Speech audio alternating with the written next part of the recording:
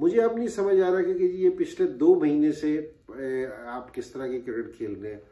जिस तरह सौ शकील को मुबारक को नया लड़का है बड़ी सौ किया है टेस्ट मैच में सौ करना बड़ी खुशी की बात है और बड़ा इन करना लेकिन अगर आप साढ़े तीन सौ बॉलों पे या सवा तीन सौ बॉलों पे सौ करेंगे सो मेरे ख्याल में उसमें कोई विजन नहीं होगा उस सौ में।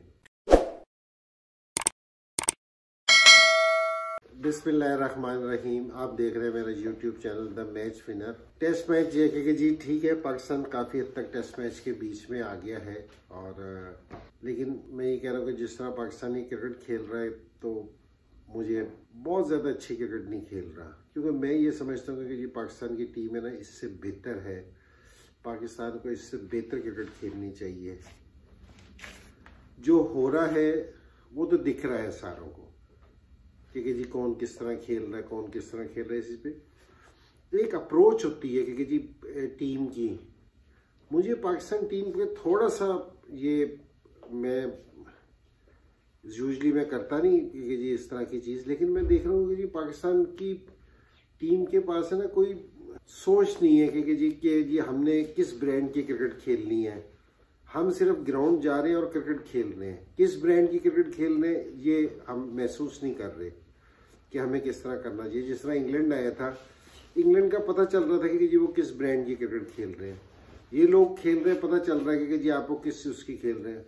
हम सिर्फ़ खेल रहे हैं। और मेरी नहीं समझ आ रहा कि, कि जी यारी चीज़ क्यों हुई है कि, कि जी ये अभी बातें होनी शुरू हुई हैं कि, कि जी कोचेस की और कैप्टनसी की और याली चीज़ें उससे अंडर प्रेशर आए हैं कि, कि जी क्या चीज़ हुई है? वरना ये कि जी मेरा ये ख्याल है कि इन्हीं कोचेस ने जो सकलैन और यूसुफ हैं इन्होंने बड़ी ज़बरदस्त टीम खेली है बड़े मुश्किल हालात से इन्होंने कम बैक किया है। अगर आप पिछला वर्ल्ड कप भी देखें क्योंकि जी किन हालात से इन्होंने कम बैक किया यही बाबर आज़म का कप्तान था कि मुश्किल हालात में इन्होंने बड़ी टफ क्रिकेट के टफ सिचुएशंस में से इन्होंने कम बैक किया और बड़ी ज़बरदस्त क्रिकेट खेले हैं। मुल्क में भी और मुल्क से बाहर भी। मुझे अब नहीं समझ आ रहा कि, कि ये पिछले दो महीने से आप किस तरह की क्रिकेट खेल रहे हैं?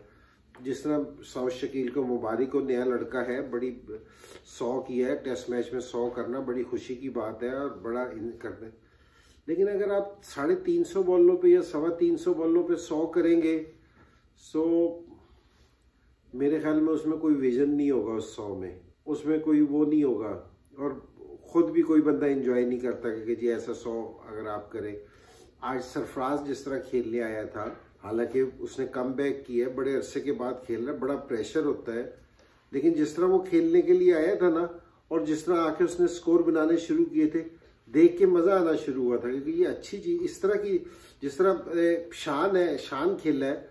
हो सकता है कुछ लोग है ना, शान थोड़ा सा ना लग रहा होगा कि जी कि मुश्किल में है कि जी उसने कोई लंबा स्कोर नहीं खेला। लेकिन मैं आपको सही बता रहा जिस ब्रांड की ये क्रिकेट खेल रहे हैं ना, जिस तरह शान खेल रहा है, जिस तरीके से आके खेलता है ईमान से ये अगर हमारी अप्रोच इस तरह की हो जाए ना, कल तो उसने ग्यारह बॉलों पे बीस के वो तो बहुत तेज तक ये कभी कभार दिन आ जाता है कि आप जो भी ट्राई करते लग रहा है।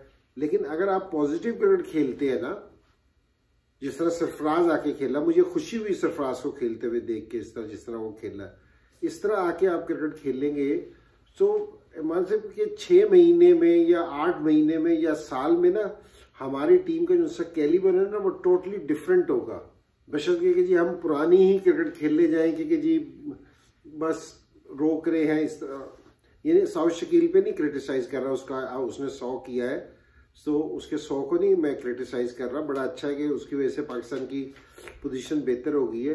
लेकिन हम किसी ब्रांड की क्रिकेट नहीं खेल रही है ये कोई अब है ना 2023 में मेरा नहीं ख्याल कि, कि जी इस तरह का कोई हम खेलना के जी सारी टीमों का अगर आप खेलना देखें वो मुख्तलिफ़ हो चुका है।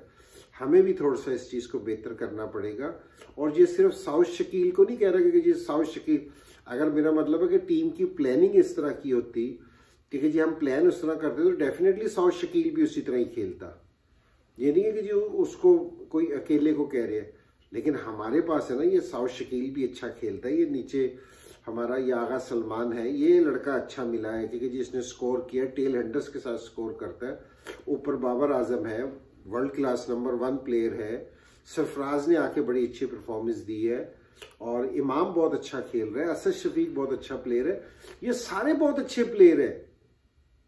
रिजवान आप देना ये पीछे हमारे पास बैठे हैं। अब रिजवान को देखे ये सारे बड़े ज़बरदस्त प्लेयर हैं लेकिन इनको सिर्फ़ थोड़ा सा माइंड की ज़रूरत है कि, जी आप किस तरह खेल खेलनी चाहिए क्रिकेट। बहरहाल ये तो थी और अब पाकिस्तान का जो टेस्ट मैच है ये कि जी कल का दिन बहुत इंपॉर्टेंट है क्योंकि जी अब बहरहाल जितना पाकिस्तान ने स्कोर किया है हो सकता है कल वो आके लीड तो हो सकता है वो ले जाए न्यूजीलैंड वाले लेकिन पाकिस्तान के पास एक चांस है कि ये अपना आउट कर सकते हैं। क्योंकि जी इब्रार वाइटल रोल अदा कर सकता है और हमारे फास्ट बॉलर्स हैं। इन्होंने हमारे फास्ट बॉलर्स ने पिछले इनिंग्स में बुरे बॉल नहीं किए, अच्छे बॉल किए। और ये विकेट जो लोग समझ रहे चेंज है पहली वाली विकेटों से, लेकिन प्योर बैटिंग विकेट है। इसमें बॉलर्स के लिए बॉलिंग करना बहुत ज़्यादा टफ है। पिछले में तो ये था ना कि फास्ट बॉलर्स के लिए कुछ भी नहीं था, कि जी नीचे रहा था, बहुत ही स्लो था। लेकिन इसमें और स्पिनर्स के लिए था कि जी बॉल नीचे रह रहा था स्पिन हो जाता था और बॉल स्पिन हो जाता था रफ बन जाते थे। ये उन सारी पिचेस से बेहतर पिच है बैटिंग के लिए। क्योंकि जी ये कोई तेज पिच नहीं है कि जी इसको किसी से कहा जाएगा कि जी हमने विकेट हाँ विकेट चेंज सिर्फ़ इतना होगा कि जी प्योर बैटिंग विकेट हो गई है। ये बैट्समैन एज ए बैट्समैन बता रहा हूँ कि जी किसी भी बैट्समैन के लिए ये बिल्कुल आइडियल विकेट है स्कोर करने के लिए। तो लेकिन ये कि चांस है कि हो सकता है कि जी चौथा दिन हो कि जी इब्रार है ना, कर सकता है। नसीम शाह रिवर्स स्विंग कराची में एडवांटेज होता है कि जी जहाँ बैटिंग विकेट होना तो टी के बाद रिवर्स स्विंग से कोई भी अच्छा स्पेल करे तो वो उस एक सेशन में ना तीन से चार विकेट ले सकता है कोई भी बॉलर तो ये पाकिस्तान के पास एक अपॉर्चुनिटी है, जिसको पाकिस्तान अवेल करके ये इस टेस्ट मैच में ना जीत सकता है। लेकिन ओवरऑल ये है कि जी